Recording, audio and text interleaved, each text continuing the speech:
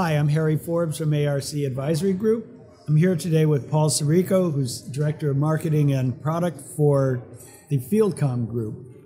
Paul, Correct. welcome. Thank you. Thanks for having me. It's nice to have you here, uh, and it's nice to see you. Well, I come every year, so um, it's again I see you, so that's great. We do, about every year. yeah. So, for folks who aren't familiar, Paul, just give us a thumbnail of what Yeah. FieldComm Group is. Yeah, yeah, no, uh, no problem whatsoever. So, FieldComm Group, we're a member organization. We're a nonprofit member organization. So, we don't sell any products to end users. Our members are all companies in the process automation space. They make instruments, they make systems, they make handhelds, they make those types of products. And what we do is we create with those member companies the standards that are used to drive process automation systems. And then we do testing and registration of those products as well so that you get the little FieldComm group certified or HART certified or whatever. We own a lot of technologies. Um, So most people, yeah, yeah, most people are familiar with HART, Yes. um, which has been around forever, but you know it has other iterations. There's HART, there's four to twenty milliamp HART, obviously. There's HART IP, and there's wireless HART. We own the Foundation Fieldbus specifications. Um, we own the uh, FDI technology specification, Field Device Integration specification. We'll talk a lot about that today, hopefully. Um, and within within FDI, there are other technologies that also fall into play, like PADIM, which is an OPC UA-focused process automation device information model that we own with about eight other companies. So Okay, so you got a lot of tech. we got a lot of stuff, yeah. But what is? Let's drill into FDI. Sure. What FDI is new? The newest one you have. yeah. So yeah, FDI, tell me briefly Yeah. what it is. in in in very simple terms. as terms. if I was a child. in very in very simple terms, FDI stands for Field Device Integration Technology, mm-hmm. and that's a you know a lot of a lot of words to say we want to make it very easy to integrate a field instrument with a host system, whether that's an asset management system or a control system or whatever. And this is essentially a software technology. FDI is a software technology that is deployed in both the instrument and on the system to make sure that the two can work seamlessly together as efficiently as possible. Is that clear? Does it, Well, it sounds great, but tell me a little more about how it works. Okay, okay. So, so you know how it works is first of all, it's an operating system independent technology. So there's no requirements for any particular versions of Windows or anything like mm-hmm. that. And what happens is a, a device, kind of a digital representation of a device called, which is encapsulated in something called an FDI device package Okay. is imported into a host system, and that host system maintains a library of all of the devices that it has to deal with, and then it can do operations on those devices and control and configure and maintain them. Okay. So there's some key information store or whatever for a device Yes. called this package. Yes. And This, this must be critical to the device. It has all the parameterization and all the other exactly. kinds of stuff. Exactly. You know. All right. And, and you know, a, a real simple analogy, keeping with these with these analogies, it's like you, you know, if you can you think about a printer driver or a printer package that you might get with an HP printer that you buy. Sure, there's one file that is the driver that makes the printer work with your computer, but you'll also get uh, you know, many many other files from HP if it happens to be an HP printer that do other things. Maybe there's user interfaces, maybe there's configuration panels, maybe there's other mm-hmm. things. Same same thing, only in this case we're dealing with a field instrument like a pressure temperature level, you know. Okay. So it can meter. be it can be both a parameterization, bunch of other information and Yep. services for the Yep. device. Yep.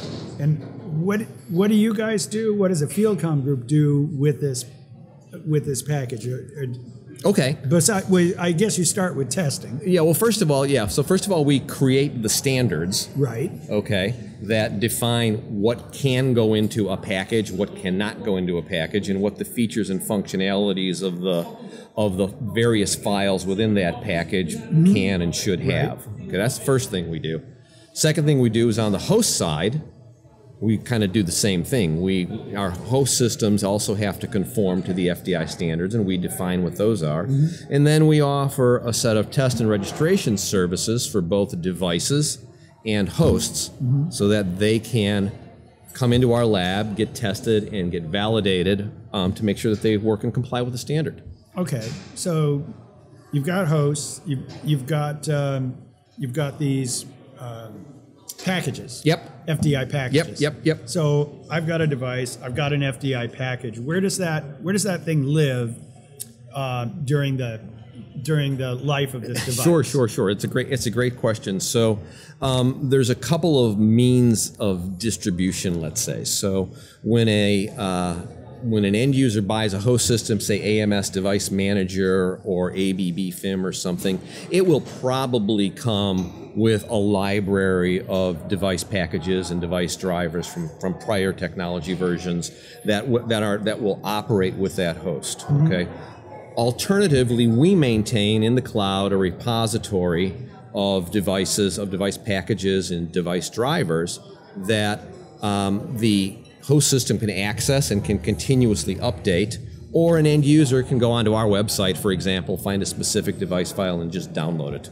Okay. Okay? So you guys, the FieldComm group is the key. Well, you're kind of the repository of, of last resort. If I have a device and I Yeah, don't, yeah. I, I lost the package or whatever it is. That's a great example, yeah, because you know uh, some of the most visited pages on our website are the pages that are associated with specific instruments where people come because they need to get that driver or that FDI device package in the middle of the night because there's some problem in the plant. Right. Okay, um, but by and large, you're going to get the file with your host system. Um, and it can be updated automatically by the host or through the cloud through our repository, or it's going to come when you buy uh, when you buy your instruments. Okay.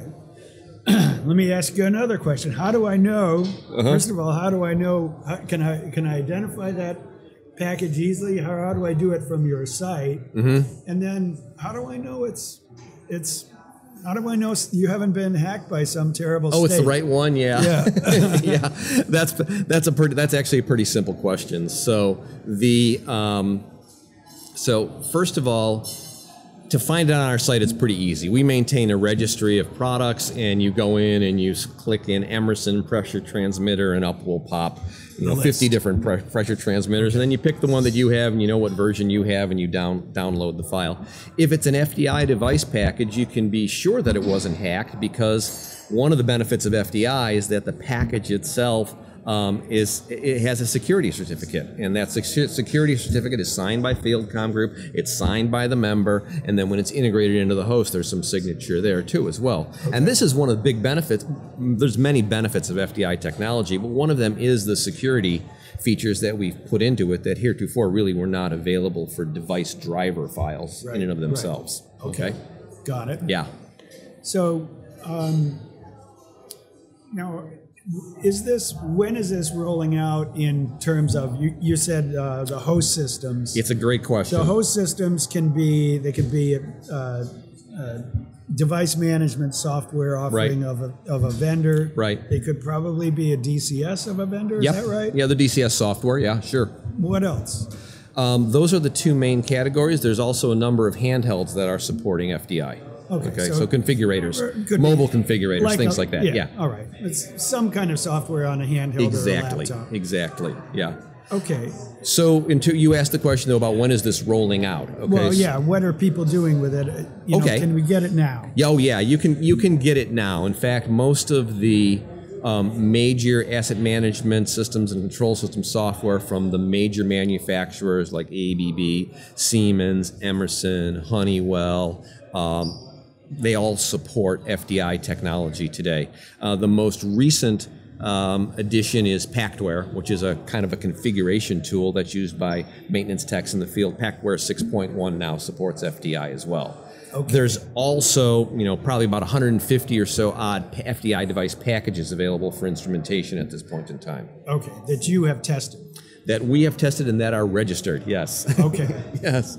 So, gee, tell, I, you mentioned Pactware. That's an interesting thing I'm familiar with. Yeah. It's Okay. a, it's a a shared source. I'm not sure I want to talk about things you're familiar with. it could, be, okay. could get me in trouble. Well, I, I, I no. go, go ahead. I know about it from before, but I mm. thought it was associated just with FDT. So, the one of the unique things about the FDI standard is with an add-on called an IDTM. Okay, mm-hmm. you can consume FDI device packages, and Pactware has built the DTM into, you know, in, in into their in, Okay. into their latest release, and therefore you can consume and configure FDI device packages. Great question, by the way. Well, it's one of those things. Pactware is one of those things that kind of you find everywhere. You didn't know what Yeah. it was, and Yeah. you see it, and a lot of vendors have it. Yeah, and I'm really excited about it because it, it gives end users the ability to play around with FDI device packages in a very simple way,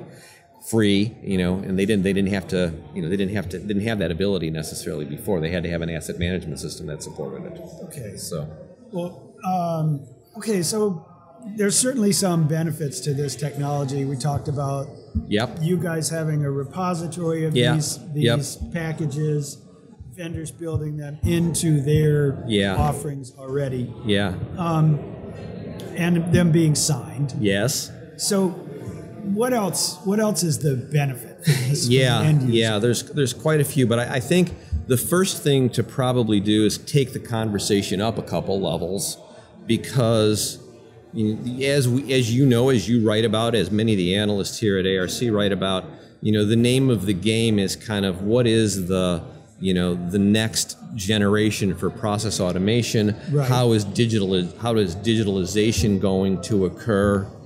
And um, what steps must end users take to kind of get on that bandwagon?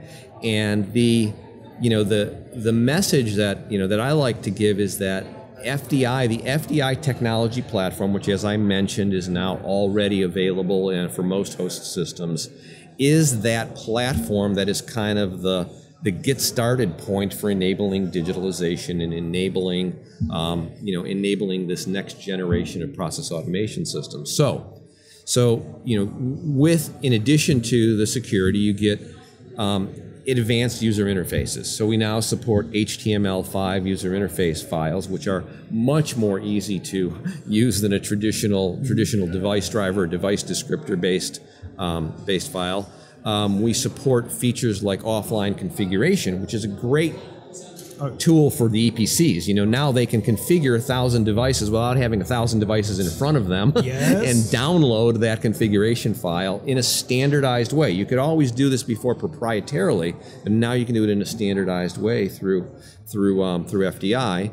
And then, you know, for the um, for some of the folks that are that are really interested in uh, more open architecture and uh, more technologies, NE 107 is a technology that describes advanced device health diagnostics. So every FDI device package must support the NE 107 standard that lets you know whether your device is operating, needs maintenance, is broken, or you know, or is having a problem. So there's a lot of features that come with the DD, the device descriptor, the driver file, if you will, that is incorporated into the FDI device package that you wouldn't have with prior generations of device descriptors. But just to be clear, you don't need to have any kind of new network. It, it works with devices that have HART or, oh, yeah. or Well, and, you know, Foundation Fieldbus or Profibus or whatever. Well, yeah, and we're you know field you know the FDI specification is a co-owned standard. Okay, PI, um, Profibus, and FieldComm Group manage the development of the standard, but it's also owned by the OPC Foundation,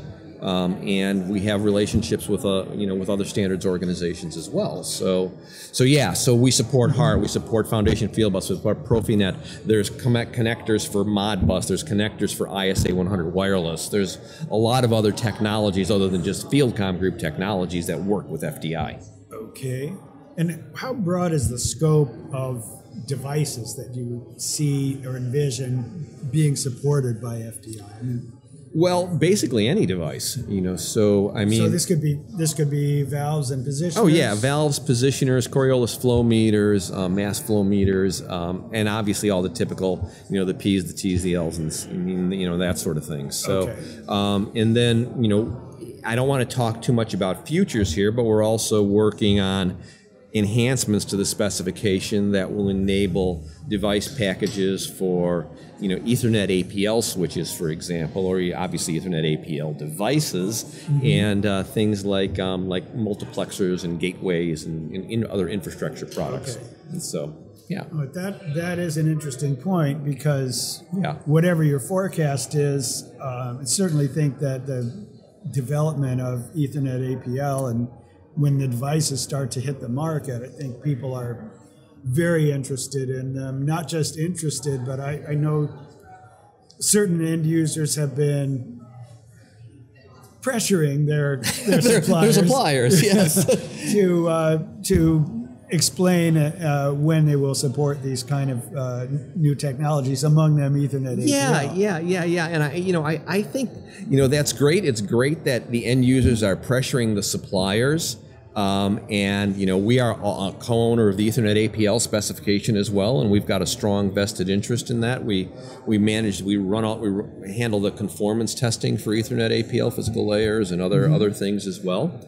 Um, but you know, I, I, I, all, I always look at the installed base, and frankly, you know, this is an installed base based business, right? And, and you've got of thousands of devices out there that are four to twenty milliamp HART devices. So, uh, well, you know, yeah, and every time that we've done a survey of that, uh, you know, information, yeah. we know that the vast majority of the installed devices are are really right. just HART. Which is why I want to get back to this notion that, you know, if you're an end user, you need to start thinking about upgrading your systems to support FDI and buying FDI device packages with your with your instruments because it is the on-ramp to this digital transformation um, model for all protocols. Know? Okay, so so what an end user should do is they should ask the DCS supplier that they have the incumbent DCS supplier or suppliers, yes. the device manufacturers, mm-hmm. um, any of the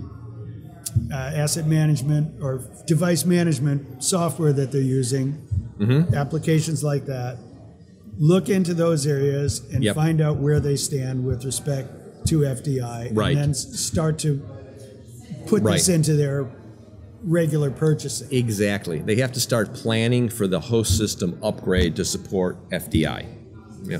Oh, they're not running the latest version all the time. Well, they're not running the latest version all, all, all, the time. Know you know, you know, it would be great if, if, if, they could, if they could move to a SaaS model and you come in one morning and the next day and you got the latest version, but the that industry's not quite there yet. That doesn't you know? happen. So. Yeah, well, hopefully the industry isn't going to charge the, the end user a lot of money to upgrade the version. Well, that's not. I, I, don't get into that. Like I said, we don't we don't deal with end users. Not, yeah, that's not your, that's not my that's gig. not your policy to me. Yeah, yeah. Okay, well, Paul, I appreciate it very much. It's I, you know, I, is there anything else that you'd like to mention about? I think you know, I, I I think we've hit on the major points. That you know, maybe in some future podcast, I'll come back and I'll show you some UIPs, or I'll show you some of the interesting stuff that's involved that in video. FDI technology. We should that's do a, that on That's video. a great idea. Okay, yeah, that's a well, great, great, idea. I appreciate you know taking the time to talk with us, and uh, it's been a pleasure, as it always is, to see you, and we'll see you again like, soon. Likewise. Okay. Take care. All right. Thanks. Thanks. Thank you. This is Harry Forbes from ARC Advisory Group. My guest has been Paul Sereiko from the FieldComm Group. Thanks for watching and listening.